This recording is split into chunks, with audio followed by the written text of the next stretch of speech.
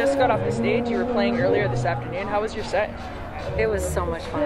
It was really hot, but it was amazing, and the crowd just made it even better. So, yeah. This is your second time playing East Van Summer Jam? I guess uh, it's our first time here at Strathcona Park, but uh, we played many years ago when it was still a block party behind the Boom Boom's uh, family home. I mean, they're kind of they're kind of from from uh, East Van. They they've been doing this for a long time, just kind of like as a fun thing to do, like just kind of have a party and play. That's how it started, that block party thing, and it just kind of built from there. And um, you know, just kind of a network of, of other East Vancouver bands. We played a bunch of shows together, like I don't know, maybe four or five years ago, Anza Club and stuff. So it's kind of just been this really, it's just this sort of slow build to, to what we see here today. Awesome. Yeah, it's definitely a really uh, like close knit music scene in East Van. It's cool to see it celebrated in uh, festival form. Totally, yeah. For people that aren't familiar with your music, how would you describe it?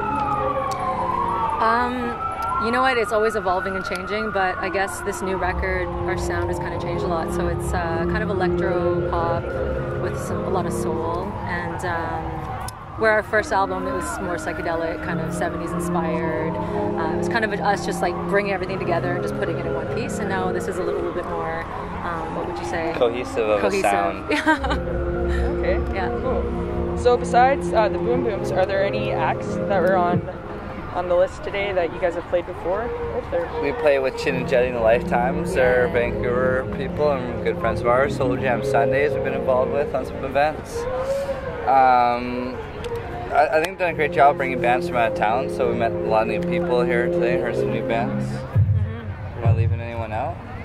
Uh, I don't think so. I mean, like, we're super excited to hear Mayer Hawthorne, Absol, these guys. Yeah, for sure. Yeah. Sweet. So besides uh, the new album, which is really exciting, it's coming out soon. Um, do you have any other things in the works? Are you guys planning a tour following that release, or? We're hoping to get to the States a bit because we've toured a lot of Canada, so we'd like to kind of hit the States first and then maybe plan a Canadian tour after. Yeah.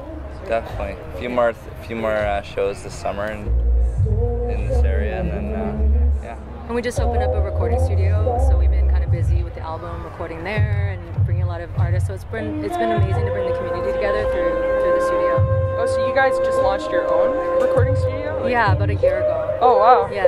It's called the, the Space Studios.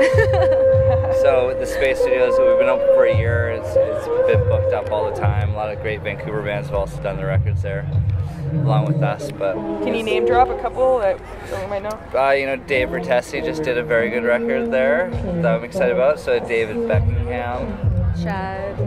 Shad, and, and I think um, Dave Bertessi did a Did few a tracks there. tracks there, They have a little secret band, and um, the tourist company is a, a peak peak performance band. Did some records there, so a lot of, lot of local people and some jazz groups and whatnot. Yeah. But yeah, it's it's uh, the Space Studios in East Vancouver.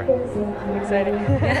It's awesome. All right, so I guess we'll end we'll end it there. Um, is there anything else you guys want to add? Anything you want people to know about you and your sound? We're really excited to hear the for them to hear the new music. So just stay tuned for some singles and some videos Yeah. before the end of the summer. We'll have one out.